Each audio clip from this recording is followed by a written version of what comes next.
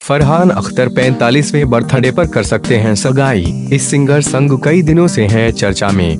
Bollywood actor, singer और director Farhan Akhtar आज अपना 45वां जन्मदिन मना रहे हैं। लेकिन फरहान अपने जन्मदिन से ज़्यादा रिलेशनशिप स्टेटस को लेकर चर्चा में बने हुए हैं। उन्हें कई बार शिबानी दांडेकर के साथ स्पॉट होते हुए देखा गया है और सोशल मीडिया पर इनकी तस्वीरें भी खूब वायरल हो रही है। वहीं सोशल मीडिया पर उनके शादी करने की खबर भी जोरों पर है, लेकिन अभी तक उन्होंने अपने रिश्ते पर मुहर नहीं लगाई है। दरअसल, आपको बता दें कि दोनों को लेकर खबरें तब बनने लगी जब शिबानी ने अपने इंस्टाग्राम पर मिस्ट्री मैन संग एक फ़ोटो शेयर की। इसके बाद से दोनों सोशल मीडिया पर खूब ट्रोल हुए।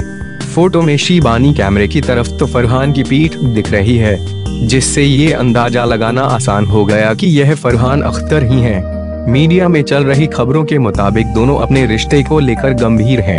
बताया जा रहा है कि शिबानी को फरहान के बच्चों से बहुत प्यार है ऐसे में अब अटकलें लगना शुरू हो गई है कि ये दोनों अगला कदम सीधा शादी के लिए उठाएँगे लेकिन इससे पहले शिबानी के साथ फरहान अपने जन्मदिन पर बड़ा धमाका कर सगाई का ऐलान कर सकते हैं आपको बता दें कि बीते दिनों दोनों की तस्वीरें सोशल मीडिया पर खूब वायरल हुई थीं।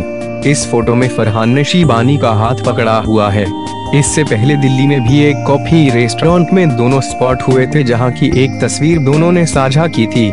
आखिर में आपको बता दें कि फरहान और शिबानी का पहली मुलाकात एक टीवी रियलिटी शो में हुई थी। फरहान तलाकशुदा हैं।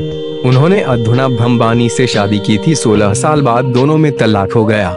इस शादी से फरहान की दो बेटियाँ हैं। तलाक के बाद फरहान का नाम एक ट्रेस श्रद्धा कपूर से भी जोड़ा गया था।